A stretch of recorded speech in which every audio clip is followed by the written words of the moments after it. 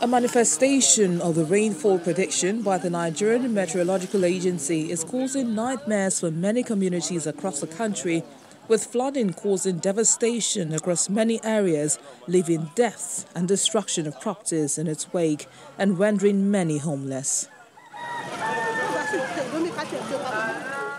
In Bauchi State, northeast Nigeria, it's estimated that flooding has killed at least 25 people this year alone, with property worth 950 million naira destroyed.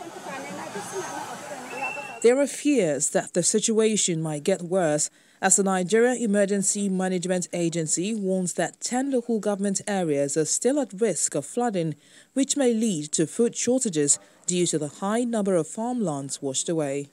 950 million naira is by no means a small amount of money.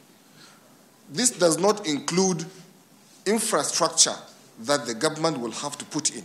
Like if you go to uh, um, Dumba local government, the, the whole road wash out.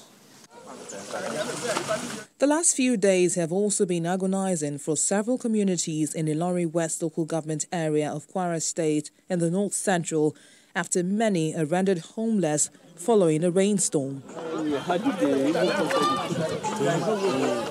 The State Deputy Governor, Kayode Alabi, is here to commiserate with the victims.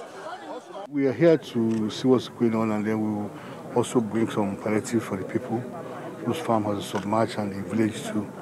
And um, we've also come to see the, um, the Emir of Patigi to sympathize with him and his whole community. The traditional ruler of Lafiaji is pleading for government to help with efforts to relocate the people. It has been happening annually. And um, what we discuss sometimes is probably to give a kind of cushion effect, very, very meager, which could not help the people enough.